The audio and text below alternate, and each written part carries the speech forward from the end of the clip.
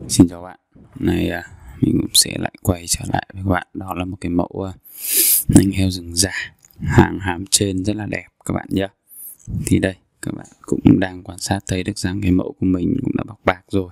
Mẫu rất là nhỏ nhắn, rất là xinh, rất là đẹp. Thì là nó không to quá và nó không nặng quá. Thì cái mẫu này các bạn về các bạn chỉ có việc đeo thôi. Đó, bên mình cũng đã bọc chùm bạc sẵn rồi.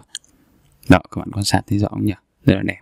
Cũng đã gắn đá rồi đây nhá nên mình sẽ quay lại gần hơn cho các bạn để các bạn cũng sẽ tiện để các bạn nhìn các bạn quan sát thấy được rằng là nhìn gần vào nó sẽ giống thật gần như là tuyệt đối rất là đẹp luôn rất là mịn đó các bạn thấy không nhỉ rất đẹp thì là các bạn nào mà có thích cái cây nành này thì các bạn có thể liên hệ với mình các bạn nhé bên mình còn có rất là nhiều các cái mẫu trang sức khác cũng rất là đẹp thì các bạn có thể xem qua và các bạn có thể chủ động liên hệ với mình cảm ơn các bạn cũng đã xem hết video clip của mình xin chào bạn